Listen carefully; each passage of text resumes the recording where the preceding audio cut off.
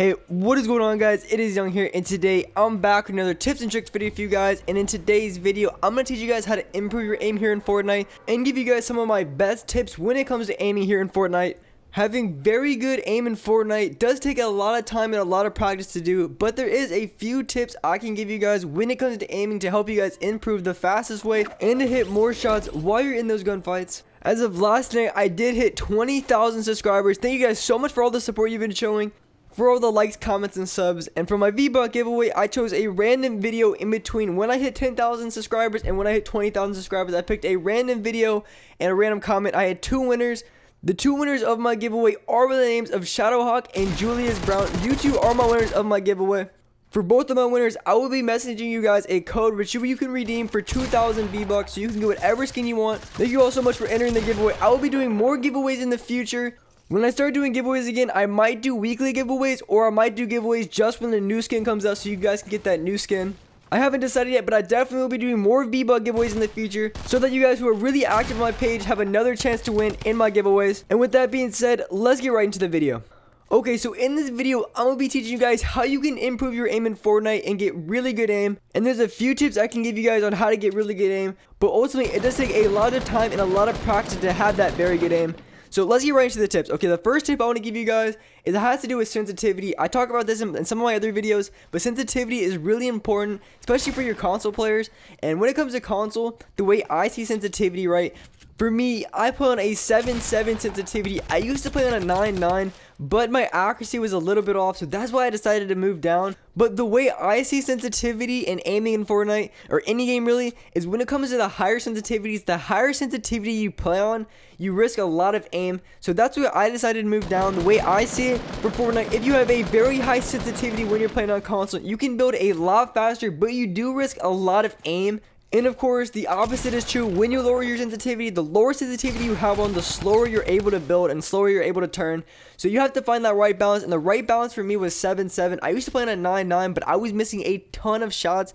So if you guys are playing on 10-10 and you see your accuracy is not very good, I would definitely turn it down. I would say I would try an 8-8. That is a very solid sensitivity to have. But for me personally, I found the best sensitivity for me was 7-7. It's not right for everybody, but for me, that's what I've been playing on. When it comes to aiming, there is another really important concept to know, and that's when, when you're in a gunfight, especially close range, well, it goes for any range, but especially close range, just keep in mind, when it goes for aiming down your sights on your target, like really close range, just know you're really easy to hit, as opposed to jumping in gunfights. So when you're in a close range gunfight, just keep in mind, if you're standing still and aiming, you're a lot more accurate, but a lot easier to get hit and tagged on. But when you're in a gunfight and you're jumping around, you're a lot less accurate, but you're harder to hit. So just keep that in mind in gunfights. You don't always have to be 100% accurate ADSing every single gunfight because there's a lot of times it's better off missing a few more shots if you can jump around and dodge their bullets. Because when you're jumping around, they're probably going to be panicking, missing a ton of shots on you. So if you're doing that, you're going to be a lot harder to hit. Yes, it might not make you as accurate if you're jumping around in gunfights, but you will win a lot more gunfights because if you're aiming down sights close range, you are a, really easy target to hit because you're not moving at all, and they're going to get a lot of easy shots, and especially with the pump, if you try to use them with an SMG close range and you're aiming down sights and they have a pump or a heavy, they're going to do a lot of damage and a lot of big hits, so that's just something to keep in mind when going into gunfights. The next thing you can do to improve your accuracy here in Fortnite is the strafe. And for those of you guys who don't know what strafing is, it's something that I did all the time back in Call of Duty. And it's still very effective in Fortnite. Is basically when you're aiming at your sights, you also use your left stick to aim, not just your right stick. And what I mean by that, for those of you guys who already don't know what this is, I have an example right here that I'm going to be showing you guys exactly what that is. So this here is what it looks like when you don't strafe. It's basically just using the right stick to aim. And if someone's running across, you just drag it over. But if you want to strafe and it makes you a lot more accurate is you walk in the direction that they're moving to. And you don't, so basically how that makes you more accurate is you don't have to move the right stick as much. Uh, which makes it a lot more easier to shoot. This is something I do in every single shooter game, and it's very effective for hitting a lot more shots. Because like I said earlier, the higher sensitivity, the more shots, pretty much the more shots you're to miss. And what this does is it kind of lowers your sensitivity in a way, because when you're strafing, you don't have to move the right stick as much, so you're not to miss as many shots as you would if you were just using the right stick. So if this is something you don't already do in your games, make sure you do this. This is a big factor in improving your aim. It helps me improve my aim a ton. And not only does it improve your aim, but when you're strafing, you're also moving, which makes you a little bit harder to hit as a target. So if you're moving and you're strafing at the same time, it's going to give you a lot more accuracy and it's going to make it harder for the other person you're shooting at to shoot at you. This also applies to shotguns as well as not just for ARs and SMGs, which mostly for ARs and SMGs, but shotguns, this is very important as well. Because when, when it comes to aiming with shotguns, you can either flick shot or you can kind of jump shot or strafe shot. When it comes to flick shotting, which basically all you do is flick and shoot, when it comes to flick shot, a lot of the times you're not going to get a lot of high damage shots because you're basically just going to hit a few pellets on them. And when it comes to that, you want to get the most pellets on the guy. So that's how you're going to do the most amount of damage. And since a few patches ago, they made it consistent, so the pellets should be the same. But who knows, I be getting all those low damage hits where I shoot right at the guy. But it's supposed to be consistent, which means if most of your crosshairs on the other guy, you're going to do the most amount of damage that way. So when you when you flick shot, a lot of times you're not going to get a high amount of damage shots because you're only going to hit a few pellets.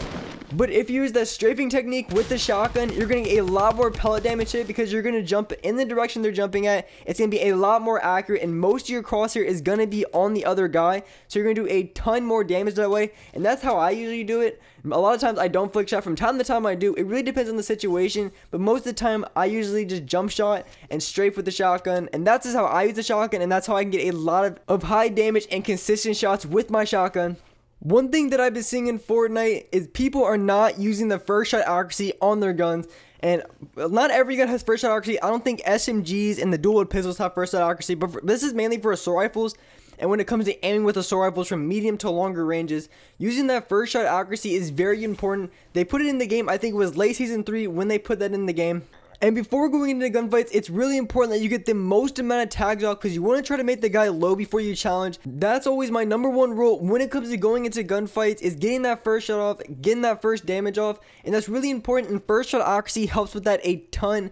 When I see someone running maybe in the opposite direction or across my screen, I wait for that first shot accuracy. Well, especially when long distance, because if you try to RNG from a long distance, a lot of the times you're not going to get any damage shots off so you want to make sure you're using that first shot accuracy. You want to wait for that reticle to close in, and as soon as it closes, take a shot. And a lot of times, of course, with the bullet drop off, you're only gonna get like a 24, 25 damage shot. And then with the first shot accuracy, a second you shoot, your reticle opens up. But if you wait another maybe quarter second, it closes again.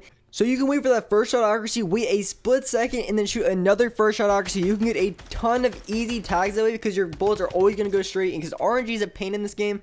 And one thing I've noticed, a lot of times people don't turn around and start building instantly after you shoot at them. Because a lot of times they're not even ready to get shot at, especially if they don't see you.